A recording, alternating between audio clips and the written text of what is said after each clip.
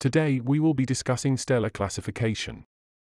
This field of astrophysics is concerned with categorizing stars based on characteristics such as temperature, mass, luminosity, and chemical composition. Stellar classification is important for several reasons. By understanding the different types of stars, we can learn more about their evolution and the processes that take place within them. This information is crucial for advancing our knowledge of the universe and our place within it. Stellar classification also helps us understand the formation and distribution of galaxies, and how stars interact with each other. We will begin by discussing the different types of stars and how they are categorized. Later we will also explore the Hertzsprung-Russell diagram, a graphical representation of the relationships between different properties of stars. Additionally, we will cover the spectral classification system and the use of spectral lines to determine the composition and temperature of stars. There are several ways to categorize stars, including size, temperature, luminosity, and composition.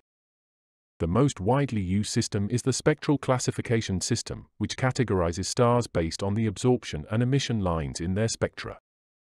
These lines can be used to determine the temperature, mass, and composition of a star.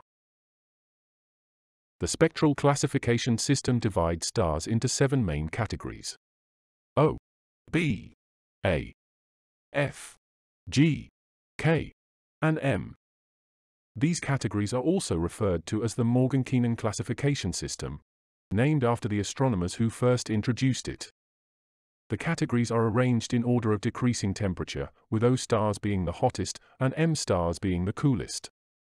These spectral types are further divided into 10 subclasses, with the numbers 0 to 9 representing the temperature order of stars within each spectral type. The spectral classification system also provides information about the evolutionary stage of a star. This information is crucial for understanding the life cycle of stars and how they evolve over time.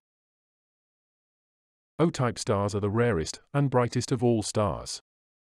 They are blue in color and have temperatures ranging from 30,000 to 50,000 Kelvin.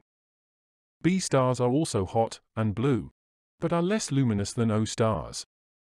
A stars are white to blue-white and have temperatures ranging from 7,500 to 10,000 Kelvin. F stars are yellow-white and have temperatures ranging from 6,000 to 7,500 Kelvin. They are also known as yellow dwarfs and are similar in temperature to our own Sun which is a G-type star. G-type stars have temperatures ranging from 5000 to 6000 Kelvin and are yellow in color. K stars are orange and have temperatures ranging from 3500 to 5000 Kelvin. Finally, M stars are the coolest and have temperatures below 3500 Kelvin. They are red in color and are often referred to as red dwarfs. Moving on, let's take a look at the Hertzsprung-Russell or HR, diagram. It is a powerful tool for understanding the relationships between different properties of stars. The HR diagram allows us to plot the luminosity, or brightness, of stars against their temperature. It was created by the Danish astronomer Ejnar Hertzsprung and the American astronomer Henry Norris Russell in the early 20th century. The HR diagram can be used to study the evolutionary stages of stars, as well as their distribution in the galaxy. It allows astronomers to observe the relationships between different properties of stars. The diagram can be divided into several regions, each of which corresponds to a different type of star. The main sequence is a band that runs diagonally across the HR diagram and represents the majority of stars in the galaxy. These stars are undergoing nuclear fusion, which generates heat and light. The luminosity of stars on the main sequence depends on their temperature and mass with the hottest and most massive stars being the brightest. Red giants are stars that have exhausted the hydrogen fuel in their cores and have begun to expand. They are located above the main sequence on the HR diagram and are much larger and less luminous than main sequence stars. White dwarfs are the remnants of stars that have exhausted all their fuel and have collapsed into a small, dense object. They are located below the main sequence and are very faint. The HR diagram also provides information about the distribution of different types of stars in the galaxy, which can be used to study the formation and evolution of galaxies. Next, let's take a look at spectral lines and how they can be used to study stars. Spectral lines are specific wavelengths of light that are emitted or absorbed by a star. These lines are unique to each element and can be used to identify the chemical composition of stars. By analyzing these spectral lines, astronomers can determine the temperature, pressure, and chemical composition of the star's atmosphere, as well as the abundance of elements within it.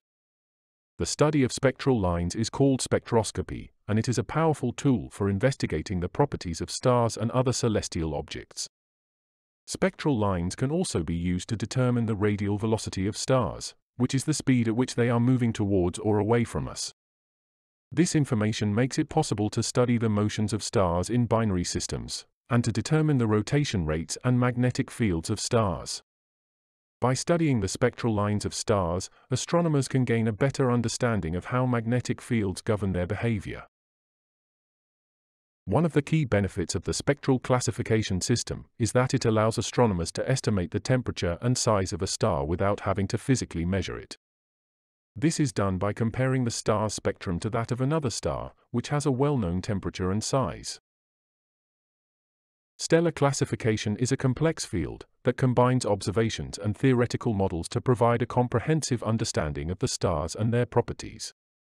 It is an essential tool for astronomers in their quest to unlock the secrets of the universe and gain a deeper understanding of the processes that govern the cosmos. If you enjoyed this video, please like and subscribe to my channel so that you won't miss a thing. There's more fascinating content coming your way all the time. Thank you.